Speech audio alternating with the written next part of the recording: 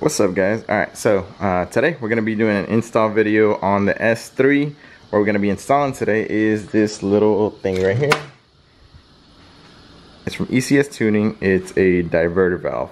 Um, I don't call it a blow valve because I don't think it's a blow valve. It's more, it's a spacer in there. And pretty much what it does, it causes excess air um, not to go back into the engine, pretty much vents to atmosphere.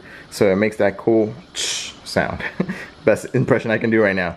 So what I'm gonna do right now is I'm gonna film what it sounds like before and then once I'm gonna put it on, I'll film what it sounds like after. Hopefully you guys can hear it, hopefully it makes a difference. But before I go on, this is mostly just for uh, sound effect. Um, I don't think it makes any horsepower. I've had it on my other Audi, my 8.5.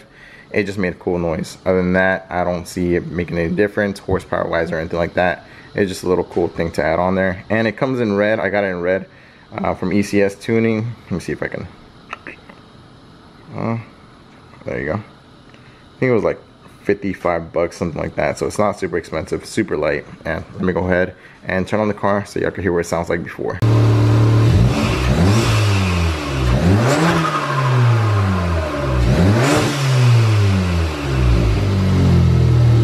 so it already does have a loud swish sound um, that's from putting an intake and stuff like that. If you have the stock airbox it will not sound like that. You won't hear the turbo noises and stuff like that. Having an intake just opens that up more and it makes a noise. But I want it to be a little bit louder and I'm honestly haven't looked up enough videos to tell you what that'll sound like but hopefully it sounds pretty cool let me go ahead and get into the install. It's pretty easy. This isn't going to be a long video because I'm not going to go ahead and show you step by step. But pretty much you got to remove the intake or your stock intake that's on there. I have an ECS tuning uh, Luft-Technik intake on it. I'm just going to go ahead and remove the pipe from the back right here. And then after that, I'll show y'all where it's at right there. Let me take my watch off because I'm to get scratched. And so I can give y'all a reference what these look like. Um, this is the A5 one and this is the S3 one. So if you're thinking about using like different ones, um, it's a possibility they might not work the same. So I think highly, even if it's a 2.0 uh, engine, you know, two liter engine, pretty much it's different. See how wide that is on the S uh, A5 and the S3, so big difference.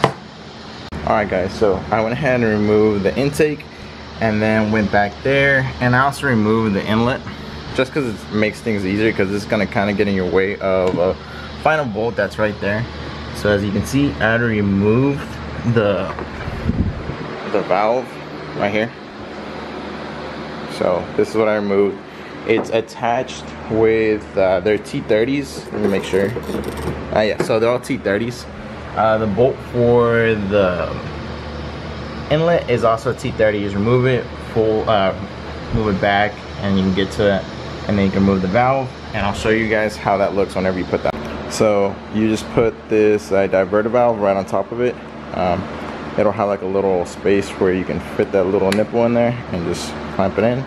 Put it back in, use the bolts that come with the diverter valve because they're a little bit longer so uh, you, you don't want to use the stock ones on there. Just use the ones that come with the kit and just go ahead and do everything in reverse. It's really easy. I think I've been on this for like five minutes so I'm used to taking all this stuff apart so it's quite quick. Uh, let me go ahead and put this on. I'll show you what this looks like on there before I put all the piping back on. Guys, is hot as shit out here. But anyways, um, I got it on. As you can see, it's this little piece right there. It's very non-noticeable. Um, it's red, which is cool. I mean, I think that's super cool. Um, but what I am getting next, guys, which is gonna match that, is this inlet piping. So the pretty much the pipe that goes straight in from the turbo all the way to the intercooler. I'm getting that one from ECS. I have a whole lot of parts coming in, so that's why I'm kind of kicking this off right now. But that's coming in.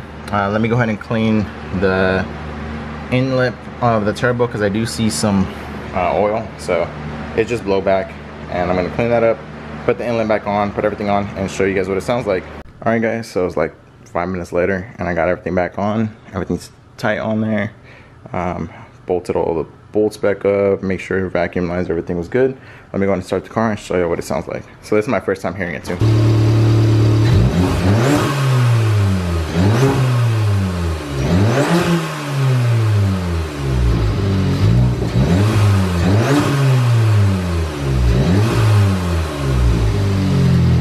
Alright guys, so um, as you can tell, I you guys probably can't tell a difference, but I can. Um, how to put it? No more turbo flutter, hopefully. So that goes away and it just releases to atmosphere. Uh, in long term, I think turbo flutter, in my opinion, you can hear different things, but I think affects the turbo quite greatly. So doing the atmosphere, um, I think will help with the life of the turbo. So I'm pretty looking forward to that. Hopefully my turbo just lasts a little bit longer.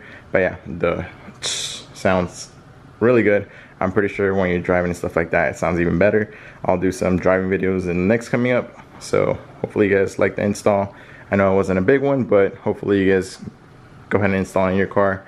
I improve the, the noise that comes out of it and hopefully in long term the life of your turbo. Alright guys, till next time, if you guys like the video, like and subscribe. Peace.